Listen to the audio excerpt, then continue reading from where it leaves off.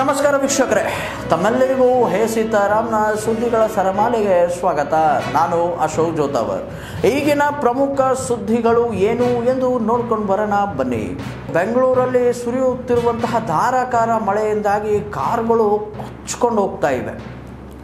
ಯಾಕೆ ಮಾತು ಅಂತ ಅಂತಂದರೆ, ಯಾವ ರೀತಿ ಅಂದರೆ ಎಷ್ಟೊಂದು ಹಳ್ಳಗಳನ್ನು ಮುಚ್ಚಿ ಅದರ ಮೇಲೆ ಬಿಲ್ಡಿಂಗ್ಗಳನ್ನು ಕಟ್ಟಿದ್ದೀರಾ ಇವರೇ? ಸರ್ಕಾರ ಪ್ರಶ್ನೆ ಇದು.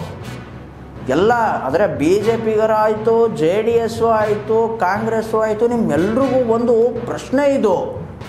ಎಷ್ಟು ಹಳ್ಳುಗಳನ್ನಾದರೂ ಮುಚ್ಚಿದ್ದೀರಾ? ಎಷ್ಟು ಹಳ್ಳುಗಳನ್ನಾದರೂ ನುಂಗಿ ನೀರು ಕುಡ್ದಿದ್ದೀರಾ ನೀವು?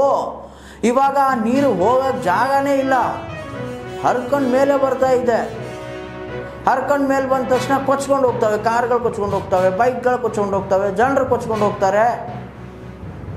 ಆದರೆ ನೀವು ಮಾತ್ರ ಸೇಫಾಗಿ ನಿಮ್ಮ ನಿಮ್ಮ ಮನೆಗಳಲ್ಲಿ, ಏನಂತಾರೆ ನೀವು ಗಟ್ಟಿಮುಟ್ಟಾದ ನೆಲದಲ್ಲಿ ಹೋಗಿ ನೀವು ಬಾ, ವಾಸಿಸ್ತೀರ. ಇದೆಲ್ಲ ಅನುಭವಿಸೋರು ಯಾರೋ? ಅದೇನು ದೃಶ್ಯ ನೋಡ್ಕೊಂಬರೋಣ ಬನ್ನಿ.